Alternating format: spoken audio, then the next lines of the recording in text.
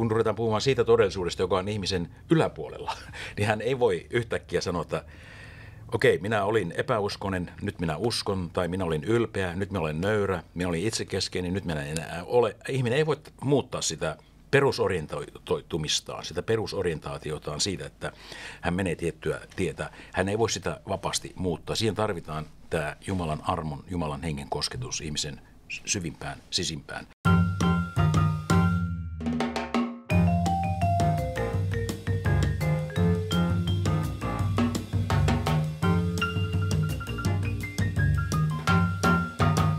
Moikka ja tervetuloa Kujalla podcastiin. Täällä keskustellaan teologiasta ja ajankohtaisista asioista. Tällä kertaa aiheemme on enemmän teologinen ja keskustelemme siitä, että miksi toiset pelastuvat ja toiset eivät. Ja ennen kuin ryhdymme keskustelemaan varsinaisesta aiheesta, niin vielä muistutuksena, että tämän ohjelman tekemistä voi tukea osoitteessa patreon.com kautta kujalla. Kautta kristillisen kirkon historian on keskusteltu siitä, että miten ihminen pelastuu. Uskonpuhdistaja Martti Luther ja Erasmus, aikansa johtava humanisti, myöskin väittelivät aiheesta.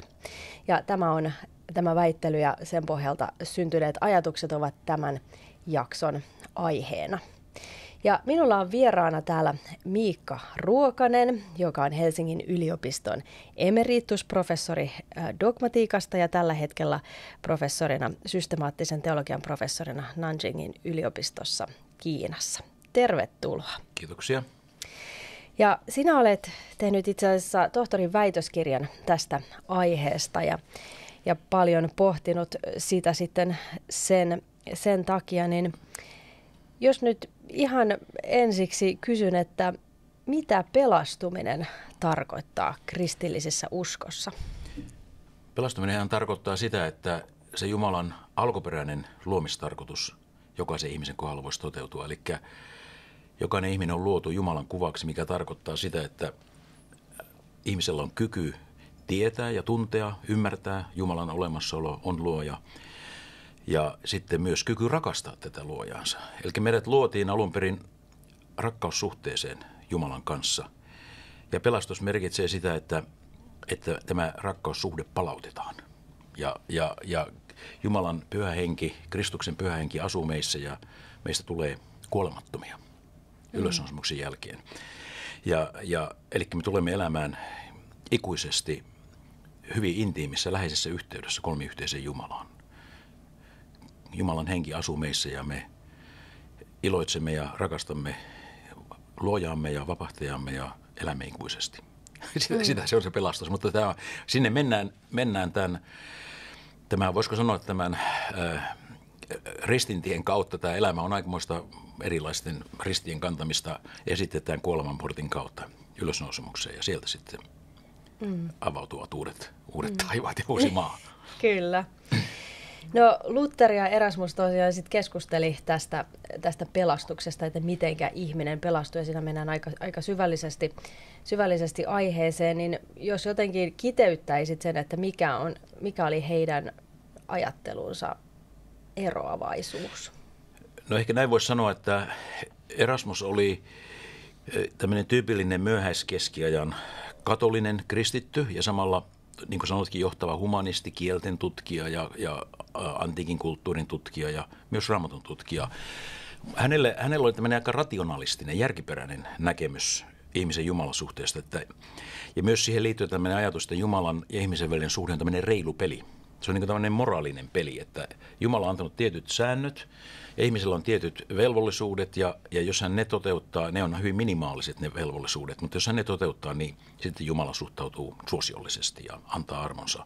Ja se oikeastaan se ajatus oli se, että, että ihmisen pitää tehdä se pienin mahdollinen voit, minkä hän voi itse tehdä vapaasti. Hän voi, hänen pitää suuntautua niin kuin etsivästi ja rakastavasti ja katuvasti kohti Jumalaa. Ja sitten tämmöinen ihan pieni loikka sinne päin. Sitten Jumala tekee sen valtava ison loikan. Että, että ihmisellä on tietty vastuu tästä ö, omasta Jumalasuhteestansa. Ja, ja tuota, esimerkiksi Erasmus ei, ei koskaan puhu pyhästä hengestä silloin, kun hän puhuu ihmisen ja Jumalan välistä suhteesta. E, taas Luther on ihan erilainen siinä mielessä, että hänelle ihminen, hänen mielestä ihminen on sillä tavalla oman epäuskonsa niin kuin raskauttama ja, ja, ja sitoma, että ihminen ei voi sitä omaa epäuskoansa muuttaa uskoksi tämmöisellä pienellä alkuaskeleella kääntyä Jumalan puoleen, vaan hän tarvitsee, että se Jumalan armo, Jumalan pyhä henki koskettaa ensin hänen sydäntään. Sitten hän voi vasta kääntyä. Sitten hän voi vasta sanoa, että, että armahda minua ja, ja etsi minut ja löydä minut ja anna minulle uskonlahja.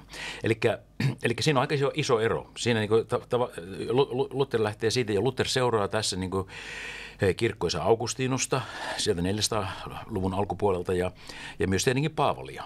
Uuden testamentin opetusta siitä, että ihminen ei voi ikään kuin itse lakata olemasta syntinen eli epäuskoinen. Siihen tarvitaan ensin, ensin Jumalan armo ja sitten ihminen voi muuttua. Siinä on ehkä se suurin ero, että, että humanisti korostaa tämmöistä ihmisen vapautta ja voisiko moraalista vastuuta Jumalan edessä. Ja, ja, ja Luther tämmöisenä klassisena teologina taas korostaa Jumalan armoa kaikessa. Mm.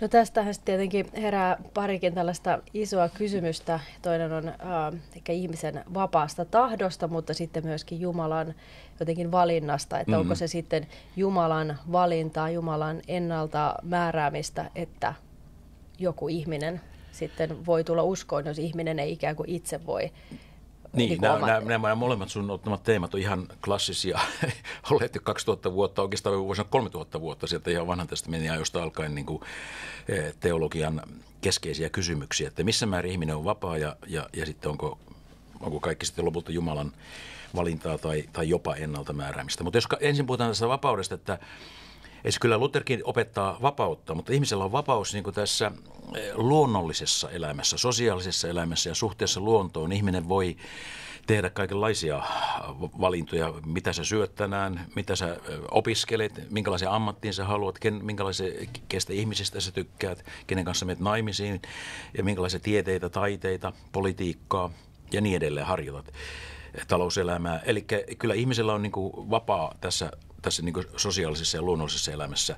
Tosin sekin on hieman niin kuin, tietenkin itsekeskeisyyden ja ylpeyden ja, ja keskinäisen kilpailun ja kateuden ja mustasukkaruusuuden ja kaiken tämmöisen niin kuin raskauttama, mutta periaatteessa vapaa. Mutta sitten kun Luther rupeaa puhumaan siitä, että, että mikä on ihmisen suhde niin kuin pahuuteen ja syntiin ja se toisaalta Jumalan armoon, niin siinä ihminen ei olekaan enää vapaa. Eli, eli se, kun ruvetaan puhumaan siitä todellisuudesta, joka on ihmisen yläpuolella, niin hän ei voi yhtäkkiä sanoa, että okei, minä olin epäuskonen, nyt minä uskon, tai minä olin ylpeä, nyt minä olen nöyrä, minä olin itsekeskeinen, nyt minä en enää ole. Ihminen ei voi muuttaa sitä perusorientoitumistaan, sitä perusorientaatiotaan siitä, että hän menee tiettyä tietä. Hän ei voi sitä vapaasti muuttaa. Siihen tarvitaan tämä Jumalan armon, Jumalan hengen kosketus ihmisen syvimpään, sisimpään, myös mieleen, ymmärrykseen, tahtoon, tunteeseen.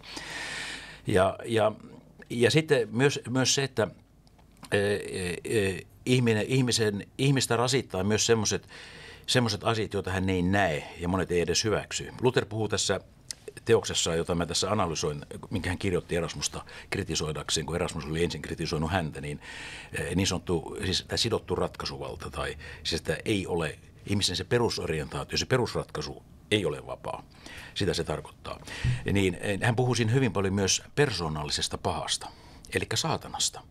Ja, ja esimerkiksi Erasmus ei koskaan mainitse saatanaa siinä omassa teoksessa, että tämä kuva, hän ei puhu pyhästä hengestä, hän ei puhu saatanasta. Kun taas, kun taas Lutherille nämä on juuri niitä, niitä ihmisen yläpuolella olevia todellisuuksia, että ihminen on näkymättömän vihollisen kaukoohjauksessa ja jonkunlaisessa niin kuin, tämmöisessä painostuksen alla ja, ja kontrollissa ja ihminen ei voi vapautua siitä, siitä vihollisen eh, kontrollista, joka työntää ihmistä epäuskoon ja, ja ylpeyteen ja itsekeskeisyyteen ja, ja niin kuin haluamaan tämän maailman arvoja, valtaa, nautintoa, rahaa, eh, iha, ihailua ja niin edelleen.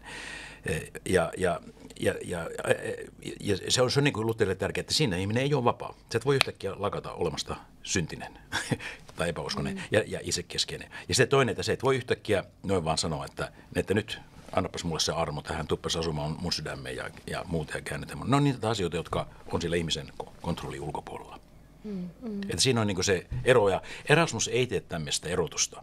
Mm. Että, että on olemassa tämä luonnollinen maailma, on olemassa tämä hengellinen maailma, joka on ihmisen yläpuolella, ihmisen kontrollin ulkopuolella. Ja sen takia oikeastaan hän voi sanoa, Erasmus voi sanoa näin, että ihminen voi esimerkiksi hyvillä teoilla ja moraalisella elämänlaadullaan houkutella Jumalan armoa itsellensä. Hän voi ikään kuin tulla Jumalan armon kandidaatiksi. Hän käyttää jopa tämmöistä korkeimman armon kandidaatiksi sillä tavalla, että hän, hän tekee hyviä tekoja ja miellyttää Jumalaa. Mm. Luterilaisuus on täysin mahdoton ajatus. No, tämä kuulostaa myös hyvin paljon tavallaan meidän ajassa vallitsevalta mm. käsitykseltä, että jotenkin ajatellaan, että kun me tehdään hyviä, että jopa niin kristillisistä kirkoissa voidaan ajatella näin, että kun me, tai mm. opettaakin näin, että, että kun me tehdään hyviä asioita, oikeita asioita, mm. rakastetaan meidän lähimmäistä ja ollaan oikeudenmukaisia ja niin edespäin, niin mm. niin sitten, että tavallaan se on siinä se jotenkin se evankeliumi tai se meidän pelastuksemme, mutta sitten mm. ja että ehkä sillä tavalla me sitten ansa, ansaitaan Jumalan rakkautta kenties. Joo, Lutero aikanaan jo opetti omia pappejaan ja, ja, ja seurakuntalaisia, että evankeliumin opettaminen, evankeliumin saarnaaminen on aika vaikeaa. Ja, ja oikeastaan teologin tärkein tehtävä olisi kuitenkin tehdä se tietty erottelu, distinktio siis evankeliumin lain välillä. Koska lakiahan on helpompi. On helppo sanoa, että ole kiltti muille, niin kuin Jeesuskin oli, ja tee oikein, ja oikeudenmukaisuus ja tasa-arvo, ja, ja, ja marginaalisten ihmisten, köyhien tuki, ja kaikkien heikkojen ja sairaiden. Totta kai, tähän kuuluu kristillisyyteen. Mutta tämä ei ole se ydin kuitenkaan. Se ei ole se evankeliumi vielä. Se evankeliumi on se, se että, että on olemassa armollinen Jumala, joka antaa meille synnit anteeksi, antaa meille ikuisen elämän. Eli siitä on paljon vaikeampi puhua.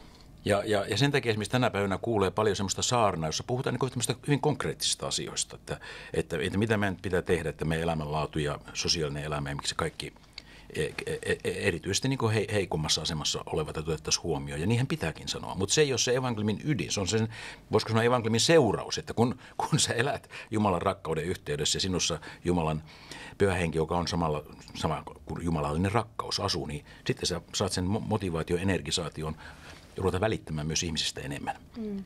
Eli, eikä, ja, ja, ja ehkä myös sitten voisiko sanoa, että, että tämmöiset niin eettiset teemat, niistä on helpompi puhua ja saarnata ja opettaa. Ja myös ehkä tämmöiset psykologiset. Mä, mä, jos, mä joskus ilkeyksinä käytän sanaa keittiöpsykologia. eli, eli Jumala ikään kuin ja evankeliumia ja raamattua käytetään, niin kuin, että miten minä parannan omaa elämänlaatua, niin miten minä toteutan itseäni, miten minä nostan omaa henkistä kapasiteettiani ja ihmisyyttäni kehitän ikään kuin Jumalan armo armon avulla.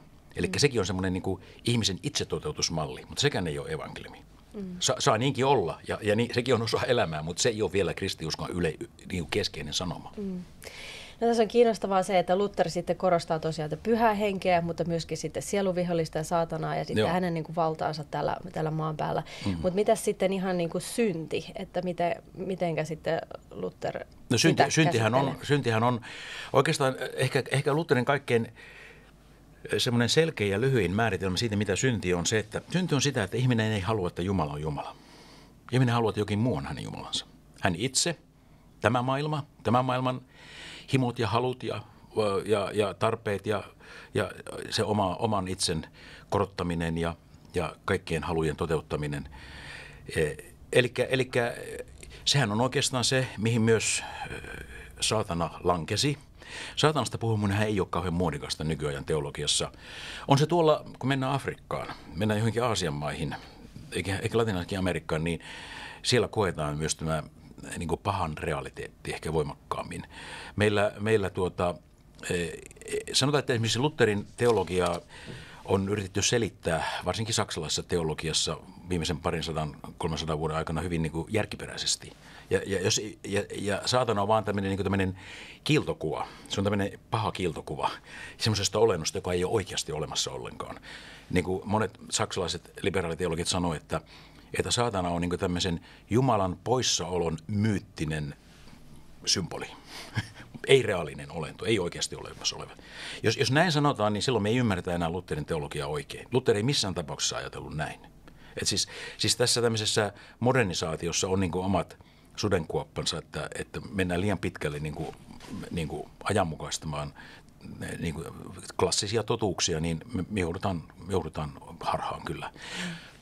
mutta, mm. mutta niin kuin sanottu, että, että mm, ei, ei men, tarkoitus on nyt tietenkään saanota saatana, eikä, eikä, mutta, mutta se, että se sama epäusko, se, että ei halua, että Jumala on Jumala, vaan jokin muu ja minä itse ennen kaikkea olen, olen kaikessa se keskipiste ja kontrolloija ja oma tahto ja kaikki vaan, eikä mikään muu, niin, niin se on se sama, sama synti, joka, johon meidät tämä yliluonnollinen vihollinen houkutteli. Se on mm. sitä samaa mm. syntiä. Mm.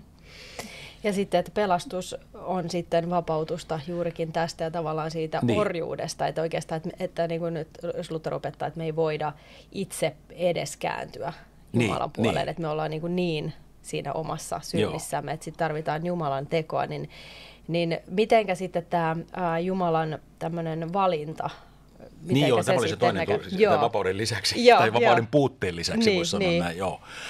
No joo, tuo on, tuo on iso kysymys.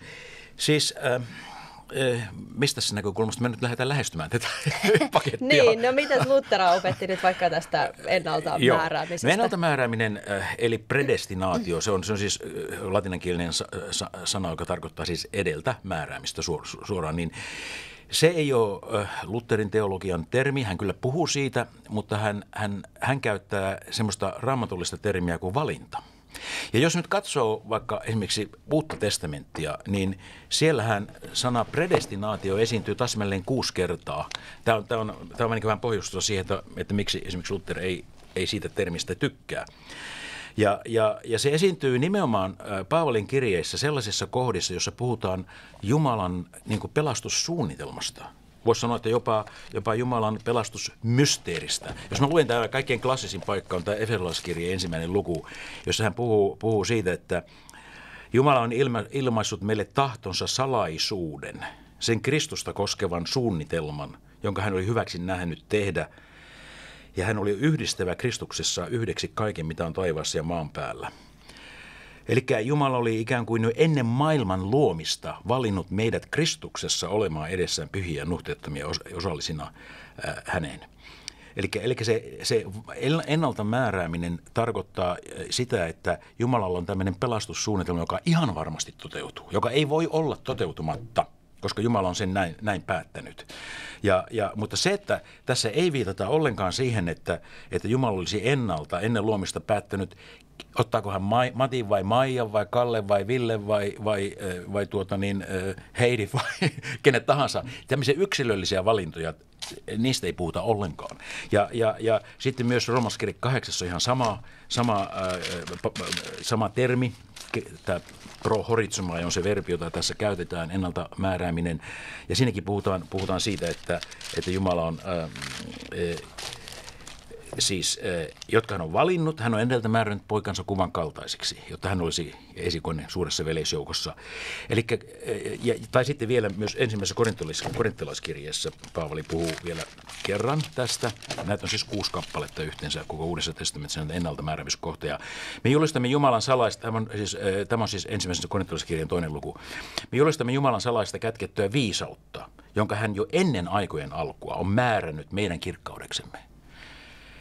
Eli tuota, tämä ennaltamääräämisen, ja tätä Lutherkin korostaa, että se termi kuuluu siihen Jumalan aikojen alussa, jo kun hän tietää, mitä Jumalahan ei elä ajassa, hän tietää koko luonnollisen historian, ihmisen historian, maailmankaikkeuden historian, kaikki hetket, koko ajan hän tietää ne. Hän on kaikissa läsnä.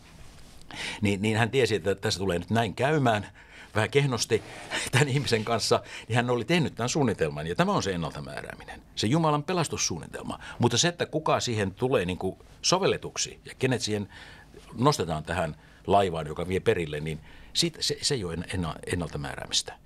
Se, siihen, siitä käytetään sitten raamusta, raamusta termiä valinta. Eli eklogo, e, ekloge on se sana. Ja, ja sitä uudessa testamentissa käytetään peräti 51 kertaa, eli se on sitten niin kuin selvästi use, useammin käytetty, käytetty sana. No nyt sitten tietenkin herää se kysymys, että, että jos, jos nyt on kuitenkin se valinta eikä ennaltamäärääminen, niin, niin kenet nyt sitten valitaan? Mutta se on kuitenkin, se on kuitenkin erilainen termi. Ja, ja, ja, ja, ja se valinta on, niin kuin, se on myös kutsu. Niin kuin Jumala kutsui Abrahamin sieltä kaksosvirran maasta menemään luvattuun maahan. Jumala kutsui sitten Daavidin kuninkaaksi, kutsui Mooseksen Israelin vapauttajaksi. Näitä kutsuja valintoja on monenlaisia. Mutta sitten kun hän rupeaa miettimään sitä, että miksi se kutsu sitten on tehokkaampi, että kaikki ovat kyllä kutsuttuja. Jumalan pelastussuunnitelma on siis universaali. Jumala, tässähän seuraa selvästi niin esimerkiksi Paavalin ja Uuden testamentin ajatusta ja oikeastaan vanhankin testamentin, että Jumala rakastaa kaikkia luotujaan. Eli Jumala ei ole semmoinen henkilö, joka olisi eh, eh, luonut jonkun eh, omaksi kuvaksi jonkun ihmisen sillä tarkoituksella, että hän tuhoaa tämän. Tämä muuten kumottiin vuonna 529 Etelä-Ranskassa Orange-nimisessä kaupungissa pidetyssä latinankielisen kristikunnan kirkolliskokouksessa sanottiin, että Jumala ei voi olla sellainen Jumala, kristinen Jumala ei voi olla sellainen Jumala, joka luo jonkun sillä tarkoituksella ennalta määräämisellä, että hän tekee siitä helvetin lapsen jo etukäteen. Sellainen Jumala on paha Jumala. Semmoista Jumalaa ei kristiusko tunne eikä raamattu. Ei mun mielestä sanoa kuin niin aamen tässä kohdassa. Mm, mm, mm. Eli Jumalan tar- luomistarkoitus on aina hyvä. Mutta sitten kun tullaan tosiaan näihin kutsuihin, ja Jumala kutsuu tavalla ja toisella, kutsuu monta kertaa, kutsuu kaikkia ja kutsuu eri tavoilla eri paikoissa ja asemissa olevia ihmisiä. Mutta sitten kun ruvetaan miettimään sitä, että miksi se vaikuttaa, että se ikään kuin se pyhähengen toiminta on jonkun kohdalla tehokkaampi kuin jonkun toisen kohdalla. Sanotaan vaikka yhdessä perheessä saattaa olla lapsia kristityssä perheessä, toisista tulee uskovaisia, toisista tulee epäileväisiä, joistakin voi tulla jopa ihan kieltäjiä. Että miksi näin käy. Niin, tähän tuota, Luther käy sitä keskustelua, Erasmuksen sanoi, että tämä kuuluu niihin Jumalan salaisuuksiin, joita hän ei meille ilmoita. Hän tekee siis tämmöisen erotuksen, hän puhuu Jumalan mielestä, eli notitia on se latinankin, tähän käytiin latinaksi tämä keskustelu. Eli ihminen ei, me emme tunne Jumalan psykologiaa, me emme tunne Jumalan mieltä. Jos me tuntisimme, hän sanoo, jos me tuntisimme Jumalan mielen, meidän pitäisi olla oikeastaan Jumalia itse. Me vain tunnemme Jumalan niin kuin uusuksen, eli käytännön. Tämäkin on se latinan ilmaisu käytäntö. Eli kuinka hän käytännössä, siis on tullut historiaan, on tullut ensin Israelin historiaan ja sitten on sieltä lähettänyt meille vapahtajan, tullut historian Kristuksessa ja on, on ottanut meidän syntimme seuraamukset ja rangaistuksen päälleen ristillä ja on ylösnousemuksessa voittanut kuoleman ja avannut meille ikuisen elämän. Eli, eli, eli me pitäydymme tähän ilmoitukseen. Me pitäydymme siihen, mitä Jumala on historiassa konkreettisesti tehnyt aineessa, ihmisyydessä, omassa pojassaan Kristuksessa ja, ja mitä hän nyt tekee koko ajan pyhän henkensä kautta täällä meidän keskuudessamme käyttäen omaa sanansa. Me pitäydymme siihen.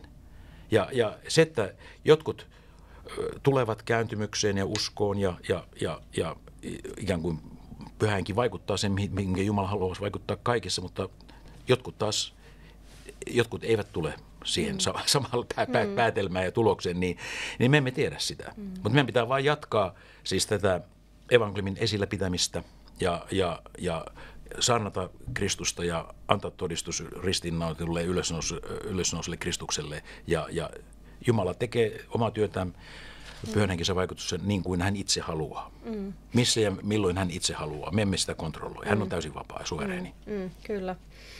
Eli tavallaan tässä on tietynlainen niin kuin jännite, tietynlainen mysteeri siinä, Joo. että mitenkä sitten, että minkä takia toiset ihmiset sitten vastaa siihen, siihen kutsuun Joo. ja toiset ei. Mutta sitten kuitenkin ihmisellä on vastuu siitä. No sanotaan, että Erasmus sanoisi just noin. Okei. Okay. vastuu. Sanotaan näin, että, että ehkä voisi sanoa näin, että miksi toisten ihmisten vastustus murtuu – kun joidenkin vastustus ei murru. Tämä, on, tämä on semmoinen, äh, äh, Luther sanoisi näin, että tutkija, tutkija, kysele ja kysele, mutta et voi tietää. Ja, ja, ja joskus se sanoi, tässä teoksessa on sidottu ratkaisuvaltio jopa niin, että ei, ei saa edes kysyä, että miksi jotkut uskovat, toiset eivät, me emme tiedä. Se on turha kysymys. Se on kysymys, jota ei oikeastaan pitäisi kysyäkään. Ja, ja, ja sitten hän vielä äh, käyttää tämmöistä niin kuin vastakohtaista ilmaisua, että kun ihminen tulee epätoivoiseksi siitä, että olen, niin kuin hän itse oli nuorena munkkina, että olenko minä nyt valittu? onko minä nyt se oikea asenne Jumalaan? Kadunko minä synti, tunnustanko minä ripissä synnit sen takia, että minä olen loukannut Jumalan rakkautta ja hyvyyttä mua kohtaan vai pelkästä helvetin pelosta? Helvetin pelko oli väärä motiivi se, että on loukannut Jumalan rakkautta ja hyvyyttä, oli oikea motiivi. Onko minä siis, täytänkö minä tavallaan niin kuin tämmöiset ehdot? Niin, niin, niin siinä voi tulla ihminen voi tulla hulluksi. Ja se sanoikin jossakin pöytäpuheessa myöhemmin, kun muisteli, että, että kun vaadittiin sitä, että pitää rakkaudesta Jumalan tunnustaa synnit, eikä helvetin pelosta, niin, niin rakastinko minä Jumalaa? Ei, minä vihasin häntä. Hän vaatii semmoista, mitä mä en pysty. Mä en pysty tuottamaan sitä oikeaa niin kuin, mielialaa, sitä oikeaa nöyrää mielialaa, millä, ja, ja sitten vielä piti muistaa kaikki synnit. En minä voinut muistaa kaikkea. Eli kun asetetaan ehtoja, tämmöisen ihmisen omalle vastuulle jääviä ehtoja, niin, niin siitä tulee niin kuin mahdoton tilanne. Ja sitten hän sanoi, että, että kun ihminen näin ajatteli, niin hän joutuu epätoivoon. Ja epätoivo on hyvä asia suhteessa Jumalaan, koska se tarkoittaa sitä, että ihminen hänestä on riisuttu kaikki niin kuin se oma manuskaus. Kaikki se, että minä olen jollakin tavalla valmistautunut, minä olen jollakin tavalla orientoitunut, minä olen jollakin tavalla osannut oikein niin kuin yhdistäytyä niihin Jumalan vaatimuksiin. Siitä tulee ansio. Ja, ja Luther kauheasti puhuu tästä piiloylpeydestä, salaylpeydestä, hengellisestä salaylpeydestä, että, että Erasmuksen ohjelma, jossa ihminen sillä pienellä valmistautumisaktilla ottaa sen oman vastuunsa, se, hän puhuu nimenomaan myös vastuusta, oma vastuunsa, niin, niin, niin se itse asiassa – ihminen jää semmoiseksi salaylpeäksi, minähän se nyt loppujen lopuksi, vaikka se olikin vain 0,1 prosenttia ja Jumalan työ oli 99,9 prosenttia, mutta se oli ratkaiseva. Ilman sitä ei olisi mitään tapahtunut. Ja, ja siitä, siitä tulee tämmöinen hengellinen salaylpeys. Ja Luther haluaa sen tuhota ja sanoa, että sitten kun sä oot täysin toivoton ja sä tipahat tyhjyyteen ja syvyyteen ja pimeyteen, niin siellä pimeydessä ja siellä syvyydessä, siellä alla on se Jumalan armo. Se ei olekaan siellä, että me kurotin tunne ylöspäin, vaan se oli siellä alla. Tämä on, on niin sanottu paradoksi, eli tämmöinen vastakohtaisuus. Erasmus vihas Lutherin paradoksia. Liian hankalia. ne, on, ne on vähän. Joo, mutta se, että kun ihminen joutuu epätoivoon omasta, omasta itsestään, niin silloin se itse asiassa tipahtaa sinne Jumalan armoon. Ja siellä on se pelastusvarmuus samalla. Mutta, mutta siis miksi tosiaan jotkut... Ö, ikään kuin jossakin tämä, tämä Jumalan kutsu näyttää tehokkaammin toimivan kuin jossakin toisissa, sitä me emme voi selittää. Ja, ja Luther sanoo, että teologiassa tarvitaan nöyryyttä. Älkää yrittäkö selittää liikaa. Ei pidä yrittää selittää kaikkea. Me ei voida selittää kaikkea. Ja se on ihan, ihan niin kuin minusta terve asenne myös modernille teologeille ja modernille papeillekin ja, ja kristityille, että ei yritä selittää liikaa. Jumalan henki, Jumalan armo toimii salatulla tavalla – me olemme vain sen kanavia, tämän armon kanavia ja Jumalan sanan kanavia mm. ja, ja, ja vastuu tuloksista on sillä mm. hänellä. Mm. Niin, eli meidän tehtävä on todellakin niin kuin julistaa sitä evankeliumia, niin kuin mm. Jeesus lähetyskäskyssään mm. sanoi, ja sitten ja me ei tavallaan tarvitse murehtia tai huolehtia niin sitten mm. niistä tuloksista, koska ne on täysin Jumalan käsissä. Me ei niitä, niitä pystytä ymmärtämään tai tietämään. No tota, äh, mitä sitten pyhän hengen rooli, sitä nyt on, siihen nyt tässä on jo viitattu, niin tota, Lutteri jonkun verran ilmeisesti kirjoittaa siitä Erittäin paljon. Joo, jo, tämä kirja, tämä sidottu ratkaisuvalta, puhuu siinä enemmän pyhästä hengestä kuin missään muussa teoksessaan. Eh, siis ajatus on se, että meidän uskomme on kristuskeskeinen. Se on, se on ristikeskeinen, eh, sovituskeskeinen ja myös ylösnousemuskeskeinen. Eh, mutta tämä kaikki tulee meille niin kuin realiteetiksi. Sanotaan, että ylös noussut, ristillä synnin, kuoleman ja saatanan voittanut, ristiin naulittu ja ylösnoussut Jeesus Kristus on, on meidän pelastuksemme, mutta tämä kaikki tulee reaaliseksi, läsnä olevaksi, vaikuttavaksi todellisuudeksi pyhän hengen kautta. Se, että, että me, me luemme, me kuulemme, me opimme Jumalan sanasta, mitä Kristus on tehnyt ja, ja, ja miten hän on, hän on kärsinyt ja miten hän noussut ylös kuolesta, niin, niin tätä sanaa pyhähenki käyttää niin, että hän muuttaa meidät. Ja, ja, ja sitä voisi sanoa, että sen, sen kautta Kristus itse, me saamme siis synnit anteeksi, meillä voidaan julistaa vaikka yksityisessä ripissä tai vaikka yhteisessä ripissä messussa syyntien anteeksi antamuksi Kristuksen nimessä ja veressä tai vaikka isä ja pojan pyhän nimessä. Mutta Kristus ei ainoastaan ikään kuin lähetä sitä anteeksiantamuksen viestiä jostakin etäältä, vaan hän itse tulee anteeksiantamuksen lahjoinen taloksi sinun ja minun. Siis hän käy, hän, siis lahjat, lahjat, siis anteeksiantamus ja ihan kaikkinen elämä, ja lahjoittaja, eli Kristus personassaan, käy taloksi meihin pyhässä hengessään.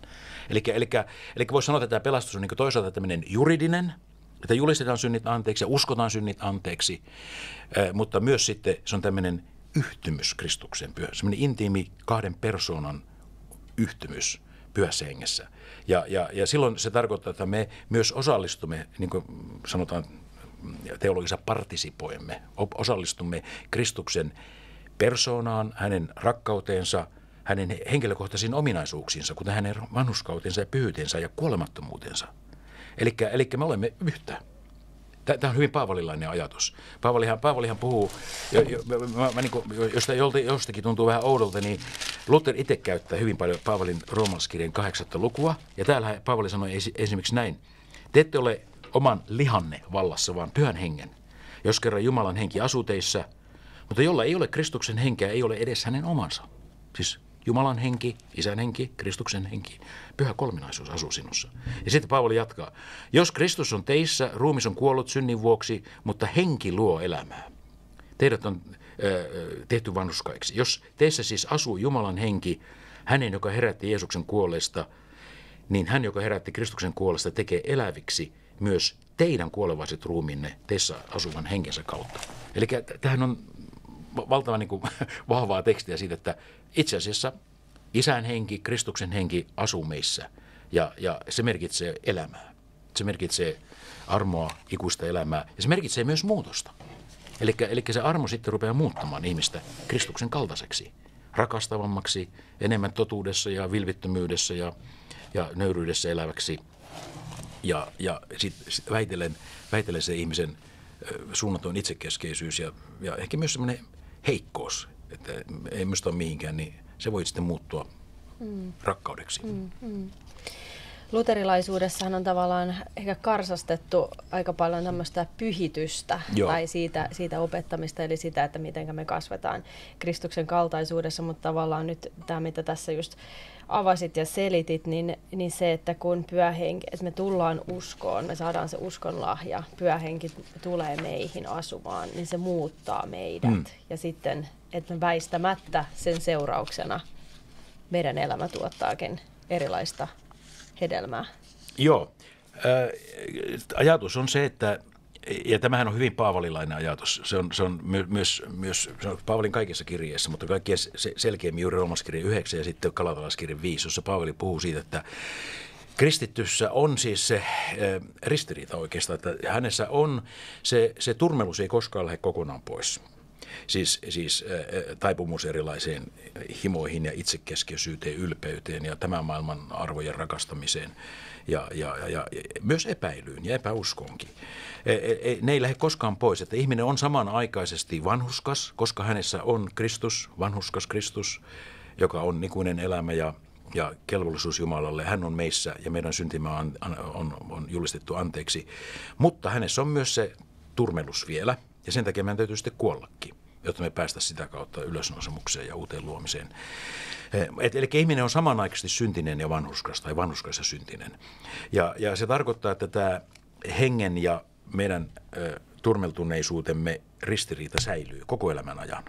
Se, se, mutta, mutta Luther ajattelee tällä tavalla, että hän käyttää tämmöistä ilmaisua kuin, että hallitsevasta synnistä. Se niin riehuu ihmisessä, tekee ihmisestä hirvittävän niin ilkeän ja pahan ja epäoikeudenmukaisen ja himokkaan ja väärämielisen ja petollisen ja muuta väkivaltaisen. Niin se riehuva, riehuva peto, Kristus voi kontrolloida sitä. Hallitsevasta synnistä tulee hallittu synti. Ei niin, että minä hallitsen, vaan Kristus pyhän kautta minussa hallitsee. Pistää sen pedon rautoihin tai häkkiin. Se ei poistu sieltä, mutta se voidaan sen toimintaa voidaan rajoittaa. Mm. Minusta tämä on aika hyvä. Tämä on, tämä on ihan eh, Lutherin oma ajatus, että hallitse, hallitsevasta synnistä voi tulla hallittu synti. Että, että siis semmoinen tietty muutos kyllä on, reaalinen muutos on mahdollinen. Luterilaisuuttahan on paljon syytetty semmoiseksi liian veltoksi uskonnoksi, että, että siinä, siinä niin kuin vaan saa, että siinä ei tapahdu mitään muutosta, että, että sä oot aina vaan se syntinen ja syntinen ja semmoinen valittaja, valittaja ja ala, alatien kulkija. Tietyssä mielessä näin on. Mehän tunnustamme syntimme jokaisessa isä meidän rukouksessakin ja jokaisessa messussa ja niin edelleen, varmaan yksityisessäkin rukouselämässä, mutta, mutta mutta kyllä me myös uskomme siihen, että, että, että Kristuksen henki meissä myös muuttaa meitä. Että, mm. että väärämielisestä voi tulla vähän oikeamielisempi ja itsekeskeistä vähän vähemmän itse, itsekeskeinen ja, ja ihmisestä, joka ei välittänyt muista, niin vähän enemmän välittävä ja niin edelleen. Kyllä, kyllä tämmöisiä muutoksia, ihan oikeita muutoksia. Voimme rakastaa vähän enemmän Jumalaa, lähimmäistä ja jopa vihollistakin. Mm, mm. Niin, onko se Johanneksen kirjeessä, missä puhutaan siitä, että se, joka on, joka on syntynyt uudesti, niin se ei voi tehdä syntiä, että tavallaan se sun, sun tahtotila on... Mä tein muuten on gradun eri... aikoinaan just tuosta aiheesta. Okei, okay, no niin. mä, mä aloitin nimittäin Uuden testamentin tutkijana, maisteri, sitten tohtoritasolla, minä siirryin tänne opin, opintutkimuksen puolelle. Johanneksen ensimmäinen kirja on vähän erikoistapaus siinä mielessä, että se synti, mitä kristitty ei voi tehdä, se, se, on, se on se, että hän ei kiellä Kristuksen jumaluutta ja sitten hän ei eroa seurakunnasta. Eli hän pitää rakkauden kaksoiskäskyn Jumalan armon voimasta, eli hän tunnustaa äh, Kristuksen vapahtajaksi ja, ja, ja, ja sitten hän haluaa pysyä niin kuin siinä Kristuksen seurakunnassa. Että se ei tarkoita, mä, me ei mennä tähän nyt kauhean pitkästi, mutta se ei tarkoita moraalista täydellisyyttä. Se tarkoittaa sitä, että ei ole Kristuksen kieltä ja niin kuin ne ensimmäisen kirjan antikristukset, ne kielsivät Kristuksen Jumalan pojan liha, liha, liha, lihakset tulemisen, ihmiseksi tulemisen. Ja ne myös sitten riitelivät seurakunnassa ja hajottivat kirkon ja, ja siis olivat rakkauden vastakohta. Että oikea kristitty ei tee näitä kumpaakaan, mutta mm. ei se silti moraalisesti täydellinen ole. Mm. Kato, mm. jos sä katsot, katsopa vaikka, mä, mä, mä nyt haluan todistaa sen sillä, että jos katsot Johanneksen ensimmäisen kirjeen toisen luvun loppua, niin siinä se oikeastaan sanotaan. Kun hän, hän sanoo, puhuu näille kristityille näin, että, että tuota, tämän hetkinen, hetkinen, nyt, miten nyt, nyt, nyt, nyt minulla, eikö kymmenen, joo. Joo, yhdeksän. Jos me tunnustamme syntimme, Jumala, joka on uskollinen ja vanhuskas, antaa meille synnit anteeksi ja puhdistaa meidät kaikesta vääryydestä. Elikkä, ja vielä jopa e, sanoo näin, että jos väitämme, ettemme ole syntisiä, petämme itseämme, eikä totuus ole meissä. Eli hän puhuu kristityille, niille, jotka eivät kiellä Kristuksen äh, Jumalan pojan ihmisiksi tulla, eivätkä hajota seurakuntaa. Nekin on syntisiä. Eli ei me kielletä omaa syntisyyttämme, ja me tunnustamme syntimme, ja Jumalan uskon ja antaa meille synnit anteeksi, puhdistaa kaikista väärystä. Tämä on siis ensimmäisen luvun jakeet 8 ja 9. Eli ei moraalista täydellisyyttä. Mm, mm, mm, kyllä. Okei, okay, tämä meni vähän nyt sivuraiteille. ei, mutta se on ihan, ihan hyvä sivuraide ja varmaanhan se on myöskin sit näin, että, että joo, tietenkään kukaan kristitty ei ole moraalisesti täydellinen, kaikki, mm. kaikki lankea, mutta sitten kuitenkin se, että, niin. että meillä on se semmoinen muuttunut tahto, että, että tai siinä me niinku kilvotellaan, että tietenkin kyllä. taistellaan ikään kuin ja jatkuva sitä. puhdistus on tarjolla. Niin, niin, kyllä. Ja sitten tietenkin se, että, että se lähde, että, että se on siitä armosta, Jumalan armosta käsin, että me, ei, että me ollaan pelastettu ja Jumala Joo. meitä armahtaa ja auttaa meitä elämään niin kuin hänen niin. mielensä mukaista eikö, eikö kristity elämä oikeastaan, se on niin kuin hengitystä siinä mielessä, että, että tunnustat, Herra armahda minua, ja ulospäin tunnustat nämä, ää, mitä on päivän listalla tunnustettavana. Ja sitten vedät ilmaa, raikasta puhdasta ilmaa takaisin. Täytä minut pyöllä hengellesi. Täytä minut armosi. Armahda minua, täytä minut läsnäolollasi ja pyöllä hengelläsi. Siis tähän, tähän on siis yksi sovellutus tästä klassisesta Jeesuksen sydämen rukouksesta, että joka henkäys on niin kuin Herra Jeesus Kristus, Jumalan poika, armahda minua syntistä. Mutta se voidaan ajatella myös näin, että minä tunnustan ja sitten minä otan vastaan uuden täyteyden ja puhdistuksen. Mm, mm. Eli että Jumalan kanssa kulkeminen tai uskossa eläminen, että se on semmoista dynaamista, että se ei ole mm. sellainen, että no niin nyt minä yksi päivä astuin Joo. tähän tähän, tälle polulle ja sitten se on ikään kuin samanlaista vaan. Niin se ikään kuin siirryt tämmöiselle ylätasolle, josta se enää voi tulla alas. ei, ei se ole semmoista. Kyllä se on, se on, niin kuin, se on vähän niin kuin tämmöistä heiluriliikettä. Mm, mm. Et, et, et tarvitaan jatkuvaa tunnustamista ja sehän on ihan, ajatellaan nyt vaikka jo varhaisten vuosisatojen ja keskiäänkin rippiinstituutiota. Kyllähän, kyllähän siis kristityn jopa, jopa pyhimysten, jota siihen aikaan vielä oli, niin, niin, niin tota, päivittäiseen, tai ainakin sanotaan tämmöisen tietyn ajanjaksojen niin ohjelman kuuluisi käydä ripillä, käydä synnin tunnustuksessa. Mm. Kyllä se, kyllä se niin kuuluu kaikille kristityille. Mm.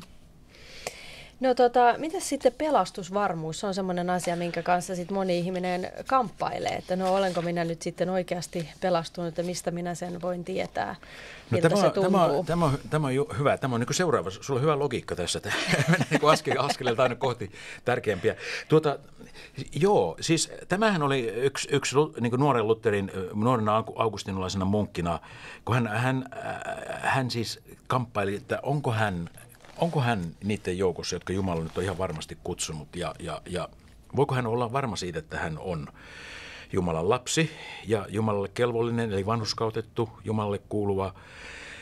Ja, ja tuota, kun näitä keskiajan katolisuus näitä ehtoja laitto, piti olla se, se rakkauden katumus, piti olla se kaikkien syntien luetteleminen, se oikea, oikea niin kuin psyykkinen asenne, niin, niin mm, hän, hänen, hänen vastauksensa tähän sitten oli tämä niin sanottu ristin teologia, että sinun oma tahtominen ja pyrkimys ja sinun itse tutkiskelus ja sun psykologinen valmistautuminen Jumalan kohtaamiseen, se, se joutaa kaikki roskakoriin, se joutaa ristille, se tuhotaan.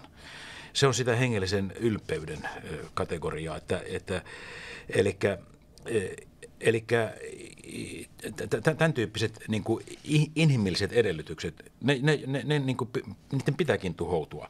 Ja sitten, sitten hän sanoo näin, että, että eh, omasta puolestani, mä, tämä on tämmöinen hänen tämän sidottu ratkaisuvalta teoksensa, eli tätä, jota Luther itse piti omana teologisena pääteoksenaan, niin sen ihan sitä loppukaneteista, sieltä loppuyhteenvedoista.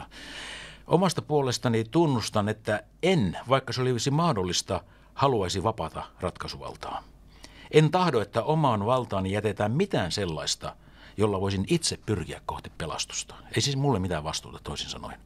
Jos näin olisi, minun olisi pakko kiusaantua ainaisessa epävarmuudessa ja hosua ilmaan. Ja vaikka eläisin ja vaikuttaisin ikuisesti, oma tunto ei milloinkaan voi olla aivan varma ja levollinen siinä, olenko tehnyt riittävästi niin, että se kelpaa Jumalalle. Eikö se ole hyvin sanottu? Mm, kyllä. Niin, jos, jos on pi- pikkusenkaan minusta riippuvainen, ei aina jää se epävarmuus.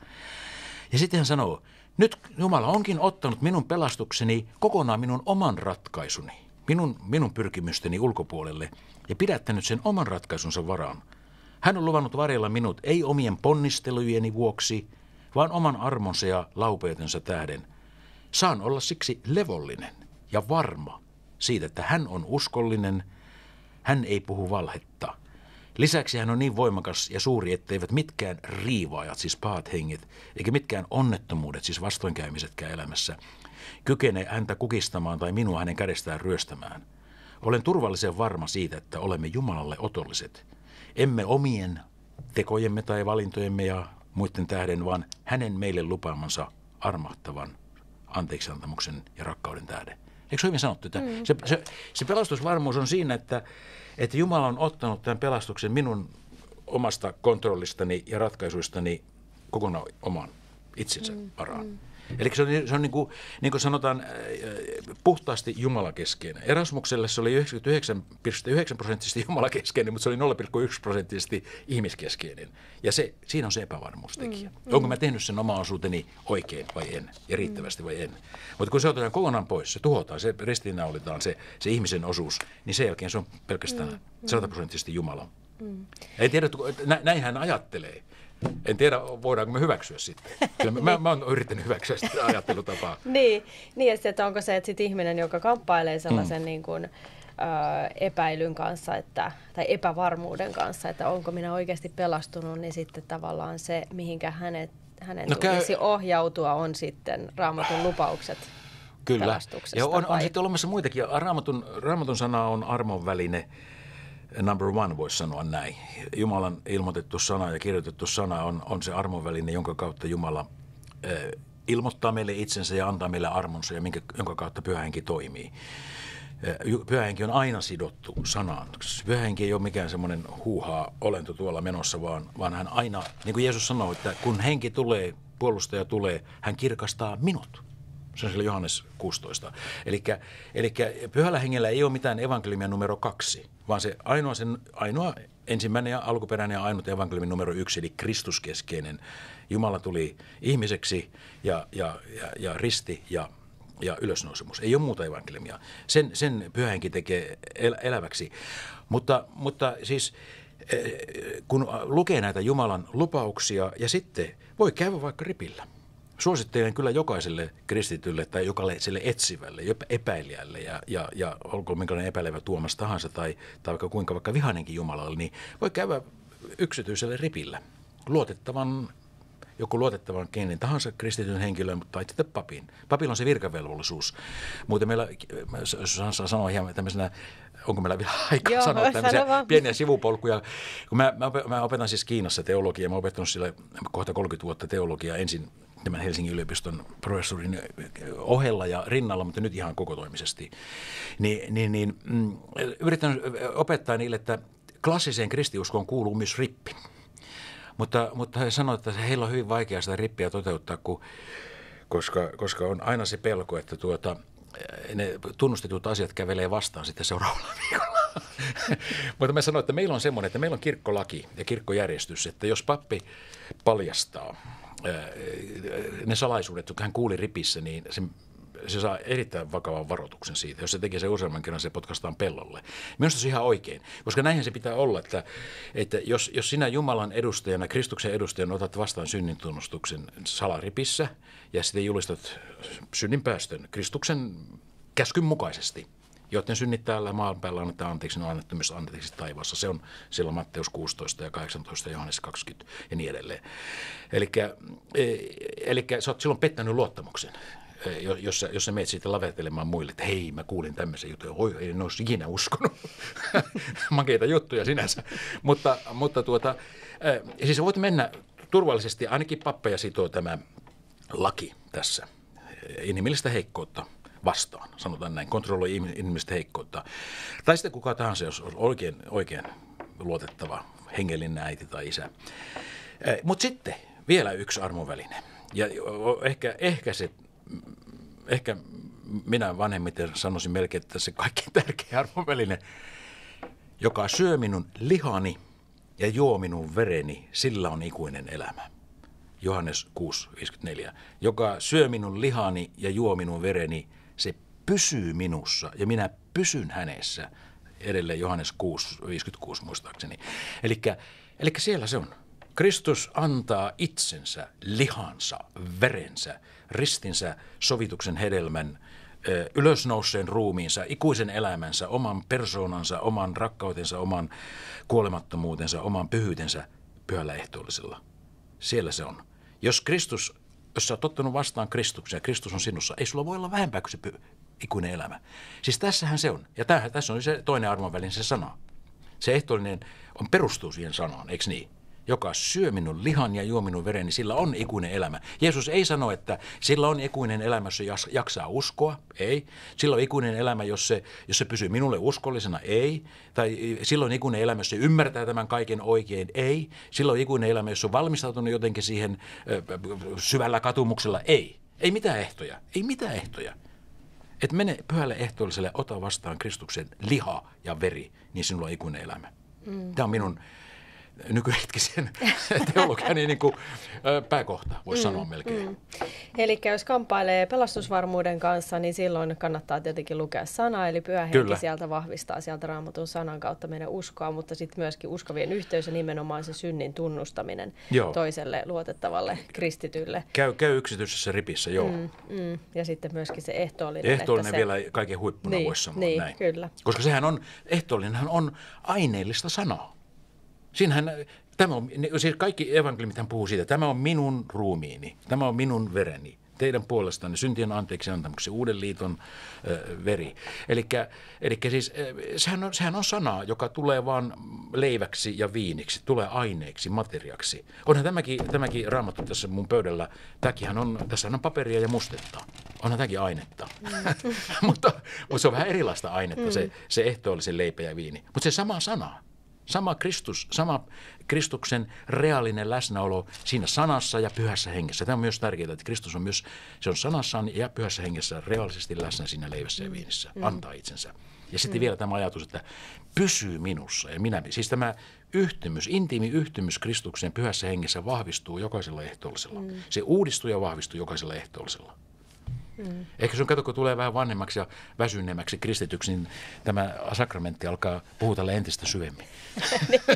tulee entistä tärkeämmäksi. Kyllä, niinhän se varmaan on, että aina kun vanhenee, niin sitten tuota, se ymmärtää po- tiettyjä asioita myös sillä, sillä mm. tavalla syvällisemmin sitten omallakin kohdalla. No että... joo, ei jaksa ponnistella niin kauheasti, niin, niin menee vaan lepäilemään sinne niin, niin. niin. Kyllä. No hei, vielä ihan lopuksi mä kysyisin vielä sitten liittyen siihen, että nyt kun sitten julistetaan evankeliumia, eli julistetaan pelastusta, niin nyt kaiken tämän, mitä me nyt tässä ollaan mm. puhuttu, niin, niin mikä sitten siinä, kun me kerrotaan muille ihmisille evankeliumista, niin mikä siinä nyt on sitten se tärkein jotenkin tapa tehdä se? Taikka? Joo, tuo on hyvä kysymys. On niitä nuorena traktaatteja jaeltu karvuilla. En tiedä, onko sillä ollut, kyllä se jossakin tapauksessa voi olla merkitystäkin. On semmoisiakin tarinoita kuulee, että, mutta, mutta tuota niin, se, kyllä eiköhän se semmoinen, että lähestyy ihmistä niin kuin ihmisen tasolla ja, ja, ja siitä ihmisestä aidosti kiinnostuen, osoittain niin tämmöistä kristillistä lähimmäisrakkautta. Ja siinä sitten luontevasti, ky- kyllä sanotaan, että uskon asioista keskustelun alkuun pääseminen ei ole sinänsä vaikeaa. Kyllä ihmiset, ihmiset on aika avoimia ja monilla on paljon kysymyksiä ja on elämässä vaikeuksia ja ahdistuksia ja epäonnistumisia ja on, on sairauden ja kuoleman pelkoa. Kyllä siis näihin hengellisiin kysymyksiin aika helposti pääsee. Mutta jos sä kysyt ikään kuin tavalla, että millä tavalla sitä evankelioimista tai sitä Kristuksen evankeliumin jakamista niin kuin tehdään, eiköhän se, eiköhän se ole se toisen ihmisen kunnioittaminen, kuunteleminen, mutta sitten myös ihan rohkea ja aktiivinen niin kuin, eh, vaikka Kristuksen omien sanojen esille tuominen, niin kuin minä nyt tässä korostin tätä Johanneksen evankeliumin kuudetta lukua tai, tai Paavalin roomaskirjan kahdeksatta lukua, niin, niin ihan rohkeasti sanoit, että meillä on tämmöinen vapahtaja. Meillä on tämmöinen äh, Jumalan poika, joka on sanonut näin. Ja, ja, ja kristi, jos me ajatellaan, että kristiuskohan on oikeastaan se meidän evankelioiminen, se on vain niin tämmöinen pieni ketju semmoisessa katkeamattomassa pitkässä ketjussa, joka alkaa sieltä pääsiäisaamusta. Tai oikeastaan se alkaa sieltä, kun Jeesus nousee ylös ja, ja, ja, ja astuu taivaaseen ja, ja siellä Öljymäellä vielä kohtaa käteensä siunaamaan opetuslapsiaan ja, ja sanoo, että menkää koko maailmaan, kaikkien maailman saanut kaivamme kaikille luoduille, niin, niin sehän on se todistajien ketju, tämä ristiin naulittu, tämä, jonka te ristiin naulitsitte, hänet Jumala herätti teki Israelin messiaaksi ja teki koko maailman vapahtajaksi. Ja me olemme sen todistajat. Me olemme käsin kosketelleet, me olemme kuulleet, me olemme nähneet. Hän on se. Siis, eli, eli siis todistus siihen, että synti, saatanaa ja kuolema on voitettu. Ja, ja me, me olemme niin tässä linkissä todistajia ja, ja siitä sitten tämmöinen historiallinen totuus on olemassa, ei mielikuvituksen totuus. Tämmöinen hyvin perusteltu toivo, konkreettisesti, historiallisesti, aineellisesti, fyysiseen ylösnousemukseen perustuva toivo on olemassa. Tämä on ihan erilainen uskonto kuin kaikki muut maailman uskonnot. Tässä ei ole, että yritän nyt tehdä sitä ja tätä, yritän nyt kehittyä nämä kahdeksan kohtaa tai nämä viisi kohtaa ja, ja meditoi ja rupea moraalisemmaksi ihmiseksi, tee sitä ja tee tätä ja, ja yritä ymmärtää. Ei, ei, meillä on tämmöinen historiallinen, konkreettinen totuus, tämmöinen ketju ja me viemme sitä sitten eteenpäin. Meillä on ylösnoussut, ristiinnaulittu, ainoa toivo koko maailmalle ja ainoa toivo ihmiskunnalle, aivan ehkä koko luomakunnalle ja, ja meille jokaiselle yksilölle. Hmm. Niin, kyllä. Ja että se on Jumalan pyhähengen sitten suurta työtä ja armoa, että ihminen voi uskoa ja että Joo. hänen tavallaan sydämensä ja mielensä voi sitten sille avautua ja pystyy sen ottamaan vastaan. Joo, se on, se on semmoinen klassinen totuus, joka myös näissä meidän uskonpuhdistuksen ajan tunnustuskirjoissa hyvin selvästi sanotaan, että, että Jumalan sanan saarna ja Jumalan sanasta puhuminen ja todistaminen on se väline, jonka kautta pyhä henki luo uskon kuulijoissa milloin ja miten Jumala hyväksi näkee. Se on sitä, me olemme todistajia, vastuu tuloksesta on työnantajalla, mm, mm. ei meillä. Hyvä. Hyvä. No hei, kiitos tosi paljon kiitos. Miikka Ruokanen. Kiitos, että pääsit tänne tänään keskustelemaan tästä kiinnostavasta aiheesta. Kiitos sinulle hyvästä keskusteluseurasta. Ja kiitos kaikille kuulijoille ja katselijoille myöskin. Ja palautetta tästä jaksosta voi lähettää osoitteeseen kujalla.podcast.gmail.com ja jos haluat tukea tämän podcastin tekemistä, voit tehdä sen osoitteessa patreon.com kautta kujalla. Kiitos ja palataan ensi kerralla uusin aiheen asiaan. Moi moi!